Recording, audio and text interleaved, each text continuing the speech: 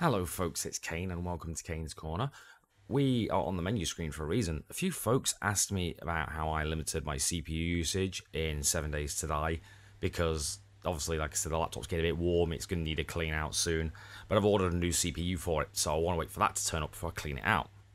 So, this is what I do. So, obviously, I'm on the main menu here. If I go to this, gives you an idea of the temps I'm currently running.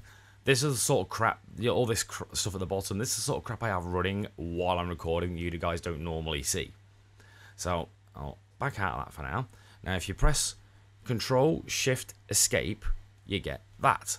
So think of it like playing, pressing Control Alt Delete or Alt Tab. So you know you, you know you press two keys at once, while it's three keys at once. So you get this. You go to Seven Days to Die. You click the arrow there. Seven Days to Die, and you go to Go details. Go to details, sorry. It brings up this.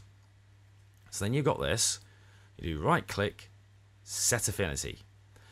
This is sort of all the CPUs in your system. So in this uh, laptop's case, it's a i7 10700K, so it's an 8 core 16 thread CPU. So it shows up as 16 CPUs and computers start at zero, so zero is essentially one. And then all I do is I deselect eight of them. So only zero to seven is then running. You click OK, and then if I go back to the yeah, it is processors. See, it's now dropped my CPU usage a bit, and there's my temps. They're currently about the same because I'm only on the menu, but in game they'll sit around 70 75 instead of 85 instead of 80 85 now the reason i do that is there's two reasons. One less cpu usage is less heat so it's better for for the machine. And the other thing is the way a lot of modern cpus work is the less of the cpu that's used the higher it can overclock itself because all cpus overclock themselves.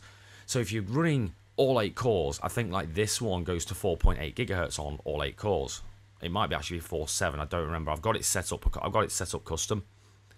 But if I am only using four cores, it goes to 4.9, I think, or 5, one or the other.